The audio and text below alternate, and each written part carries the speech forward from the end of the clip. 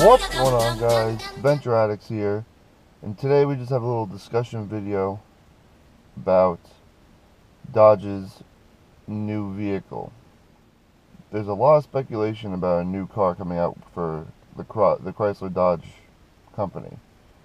Um, lately I've been seeing a lot of posts and talking to a lot of Mopar guys about a uh, Dodge Barracuda.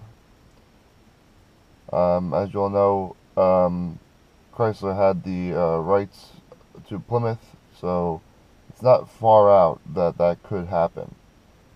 Um, there's been talks about it since 2012 and moving on for the past couple of years.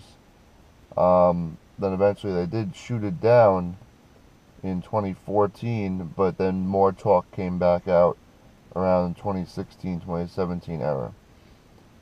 Um, I'm not sure yet um, if Dodge or Chrysler will make it.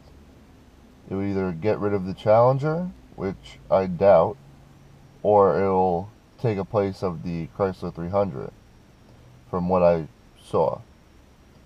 Um, they want to put a six-cylinder twin turbo in it, or they want to drop a 426 in there to uh, get rid of the either the 392 or the 5.7.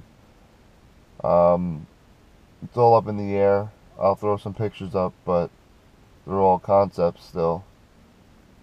But you never know. In the next couple years, you might not see any more Challengers or Chrysler 300s.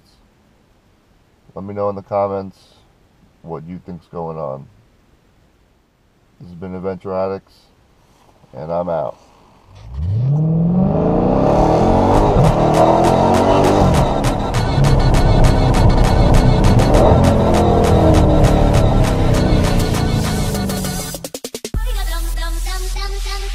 dum dum dum dum dum dum dum dum dum dum